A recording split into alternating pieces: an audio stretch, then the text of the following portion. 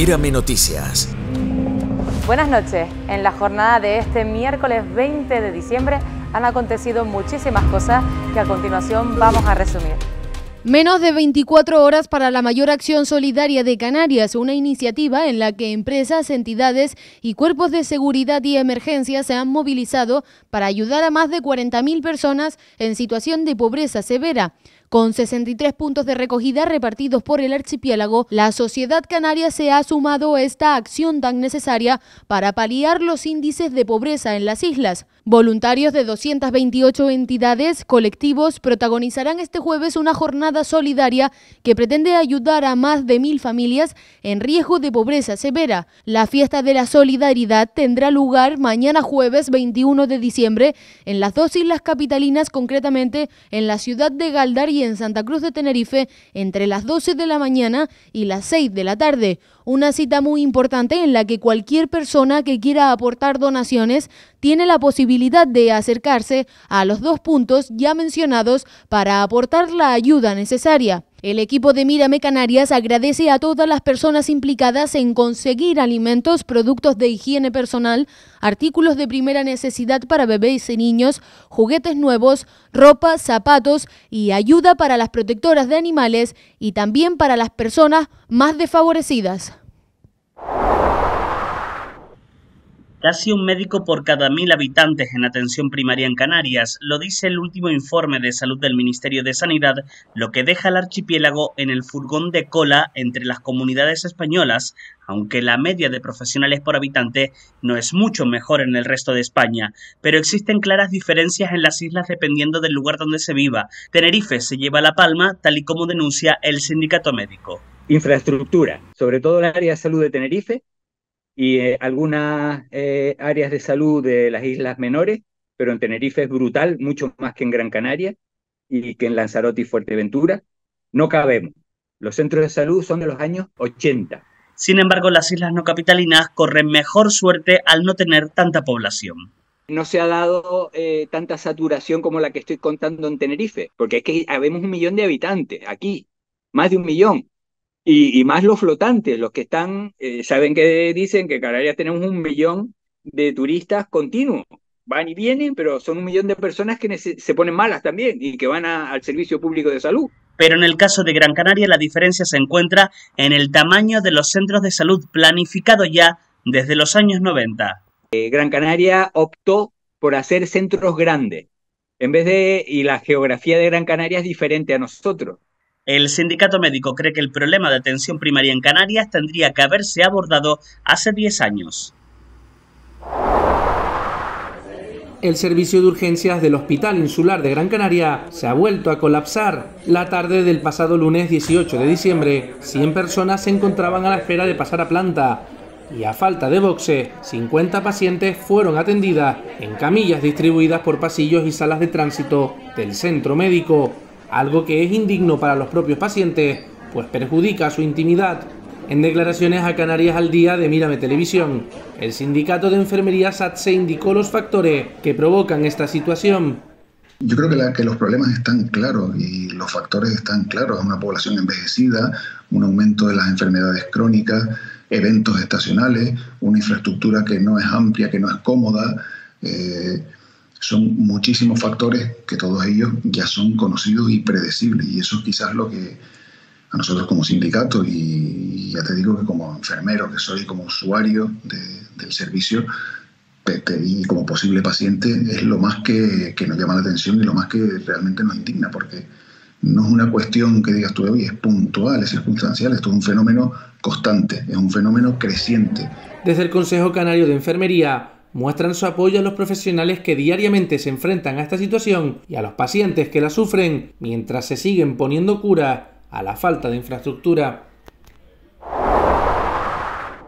2023 ha sido el año más cálido y seco en Canarias desde 1961, según el balance climático del otoño 2023 y la predicción estacional para el invierno de la Agencia Estatal de Meteorología. La temperatura media ha sido de 20,1 grados, las precipitaciones registradas un 25% por debajo de los valores normales y la temperatura media de la superficie del mar ha sido la más alta desde 1940.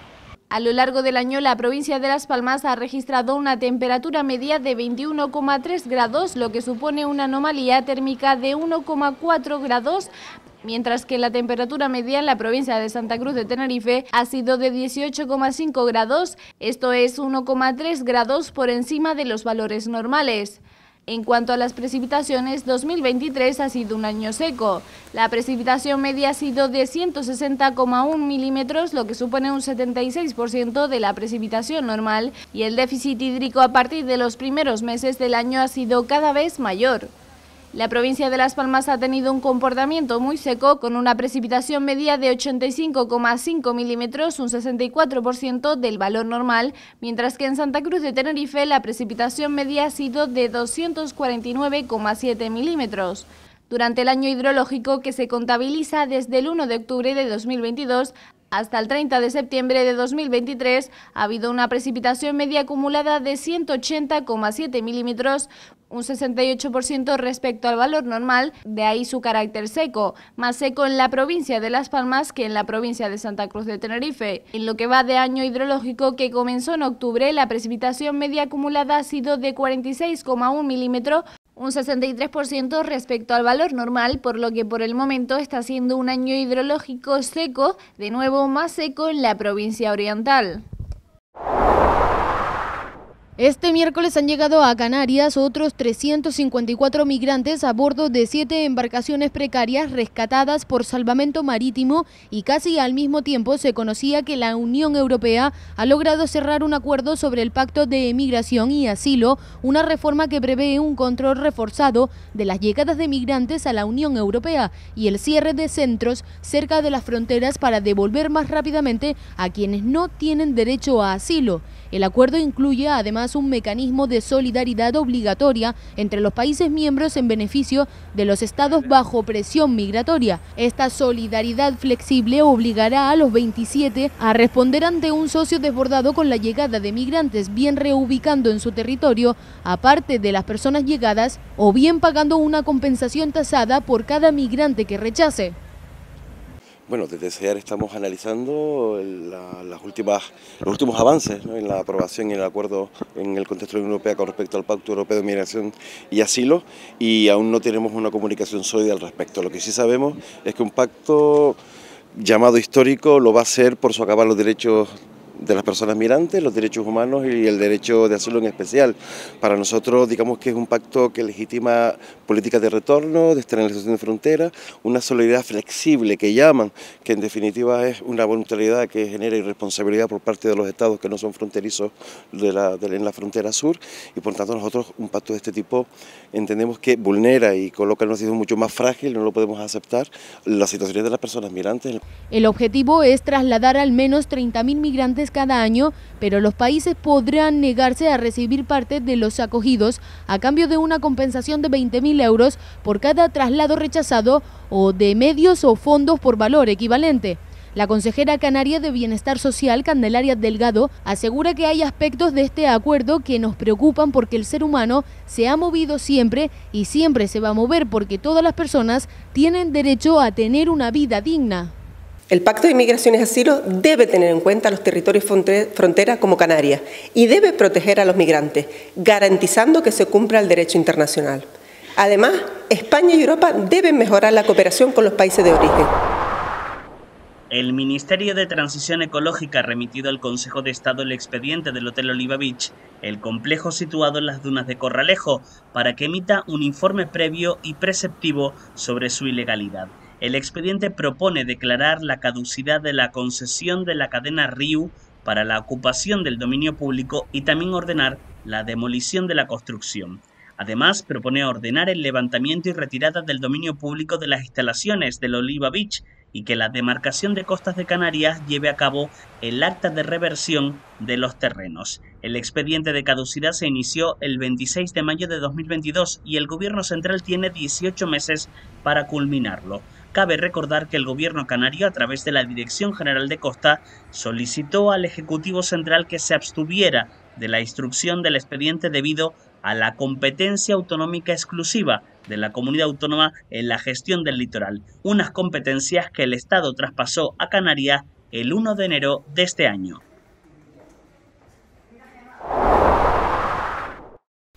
Los estudiantes palmeros alojados en las residencias universitarias de la Universidad de Las Palmas de Gran Canaria y colegios mayores de la Universidad de La Laguna podrán solicitar la beca correspondiente del Cabildo de La Palma para sufragar los gastos de las mismas.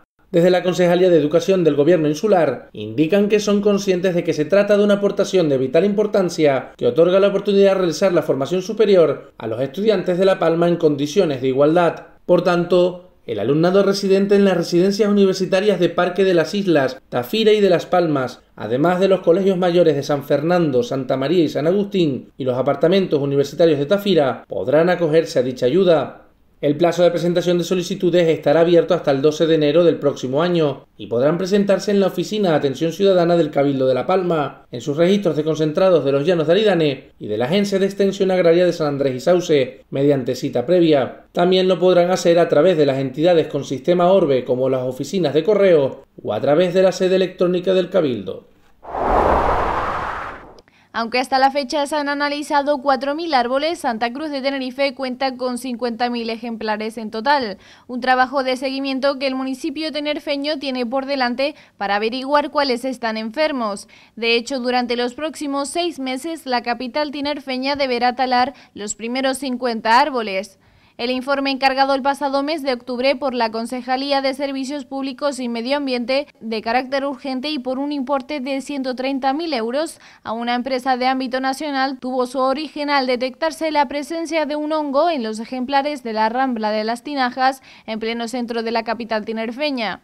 Se da la circunstancia de que en los últimos seis meses ya se han caído en Santa Cruz de Tenerife más de 40 árboles. Tal y como adelantó el periódico El Día, el concejal responsable, Carlos Tarife, prevé que en marzo de 2024 ya se hayan revisado la totalidad de los árboles que tiene el municipio y así conocer las causas que están provocando el desplome de ejemplares en distintos puntos de la ciudad. Pasamos con el parte meteorológico para mañana jueves 21.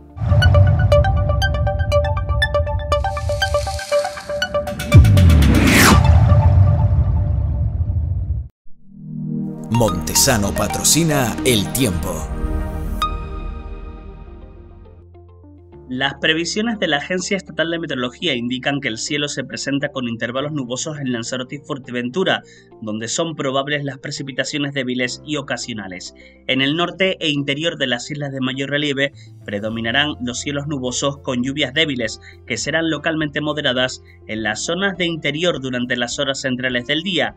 En el resto habrá intervalos nubosos con baja probabilidad de alguna lluvia débil y ocasional. Las temperaturas van a experimentar pocos cambios al ligeros descenso de las máximas en las islas más montañosas y en cuanto al viento va a soplar moderado del nordeste con intervalos de mayor intensidad en las vertientes noroeste y sudeste así como en cumbre donde serán probables las rachas localmente fuertes.